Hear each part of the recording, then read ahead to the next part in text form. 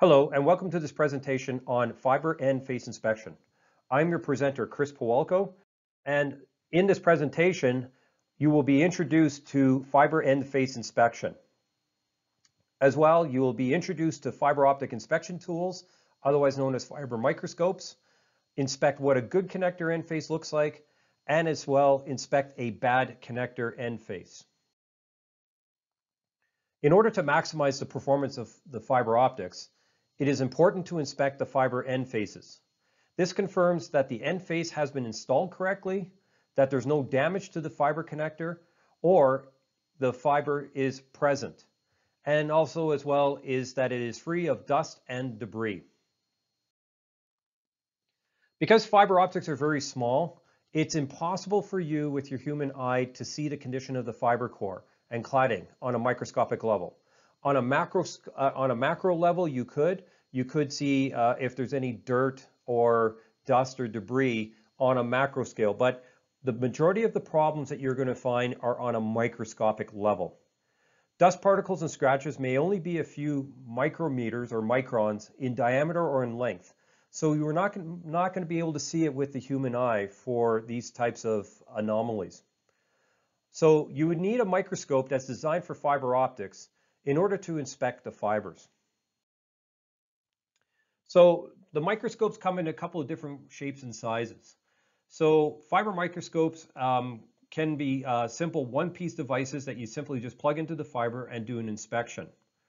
And some of these microscopes are actually ranging from um, around $100 or so uh, to much more expensive. So they are cost-effective um, piece, uh, pieces of equipment that you can have inside your toolkit. So now a big warning. Many of these uh, cost-effective microscopes do not have protective filters on them. And what a protective filter is, is that if you happen to plug in one of these microscopes into an active fiber, that inside the microscope there are filters to filter out the light that's coming down that fiber. So there are some microscopes that can uh, have that capabilities, but then there's a lot that don't. Now, if you do expose your eyes to fiber optic light with one of these types of microscopes without a filter, you will damage your eyes. Because essentially what you're doing is you're magnifying the signal that's coming down that fiber. Now, you can still use these microscopes with no problem, and a lot of people do, but you have to ensure that the fiber is not, and I say again, that is not connected to any fiber optic sources. This also includes visual fault locators. So even though it is visible light, um, visual fault locators do have um, the signal strengths that are strong enough that they can do some damage to your eyes. So please ensure that you read the spec sheets of the fiber microscope that you're using and use it appropriately. There are some fiber microscopes that do have filters on them to protect your eyes in the event that you plug in a microscope into an active fiber. Now, some of them um, actually utilizes a video screen. So you would have a probe that would plug into your fiber under test and a handheld video screen. And the nice advantage of this is, is that the fiber optic light coming through, if there is any, uh, will not be transmitted onto the video screen. So it will protect your eyes. Now, an extra added benefit to some of these is that you do have the ability to save a picture of the end face. And that is really good for when you want to document uh, what is happening with regards to that particular fiber. So you, if you go and do an installation or you do a repair and you made sure that all your fiber is clean, you could take a look at your microscope and verify that that is the case. So let's take a look at a good end face. So a couple of things that you want to notice on a fiber when you're looking at it through a microscope is this particular, this here is the fiber itself.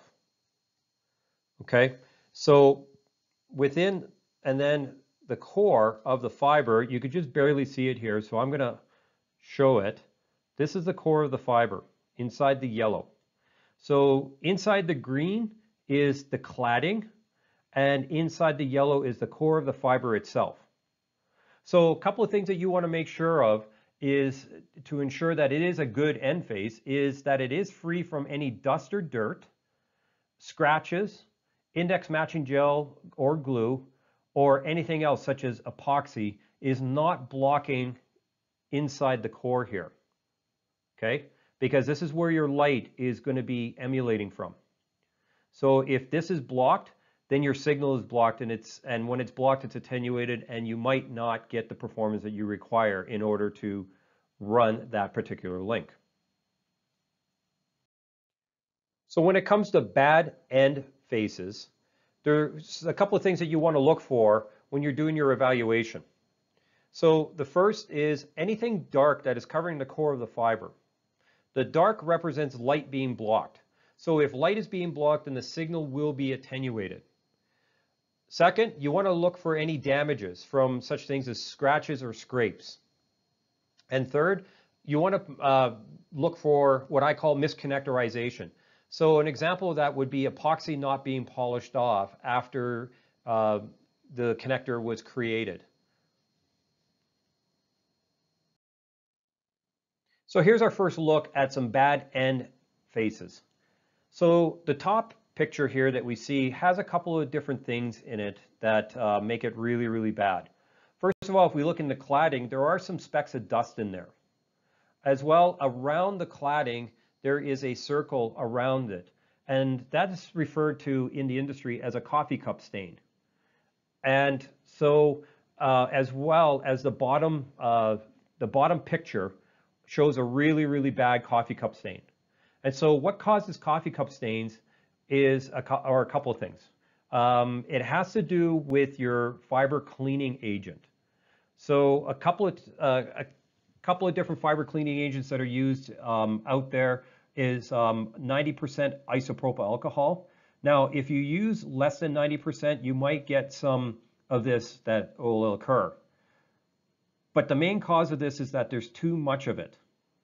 And so it wasn't properly cleaned off and it wasn't let to dry out. And so then what had happened was is that then a fiber patch cable was plugged into this. And so then the isopropyl alcohol or the other cleaning agent uh, would actually dry up and it will leave these stains there. Now, a problem with the, this is that when you do some insertions and removals and back and forth, then eventually what starts happening is that the contaminants will actually start migrating into the core of the fiber.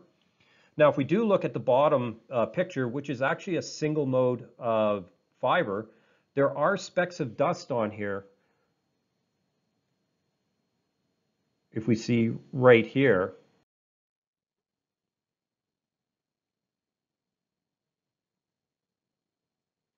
okay? So there are specks of dust that is actually in the cladding. And so the problem with dust is that dust actually will migrate. So at this particular moment, the dust is not at the core, and the core for this uh, particular fiber is actually right here. And it's very, very, very small.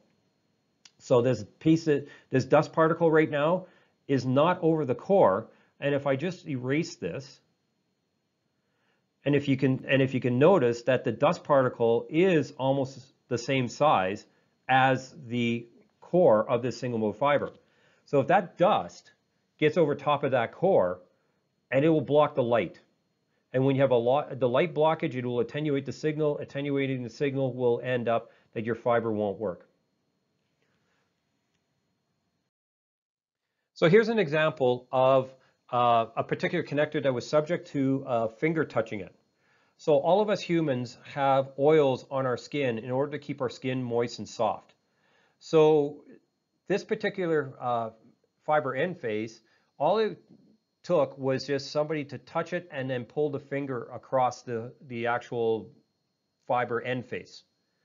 And so the little dots that you see there and the streaks are actually the oils from your finger.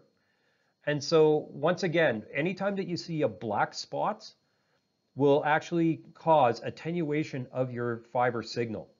So oils the, on your fingers are not good for fiber end faces. And now here's an example of a fiber connector or fiber, uh, fiber end face that has a couple of issues with regards to it. So the big one is that we see here is that we do have a, a pretty substantial scratch in the actual fiber itself. And, it's, and it protrudes even into the ferrule of the fiber. And then we also have some minor, we also have some other scratches uh, going through it, but this red, the one in red is actually pretty substantive. So that's pretty nasty. Um, as well on this particular um, end face, we also see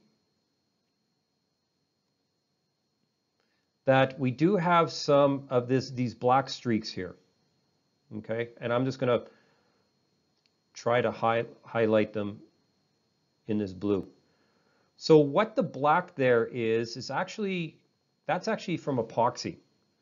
And so it was either not polished out correctly or there was too much epoxy that was that was being used. So this is this is a sign that um, a couple of things. One, that the the fiber itself has been damaged, and and as well when the fiber was created, that it was not the connectorization was not done properly.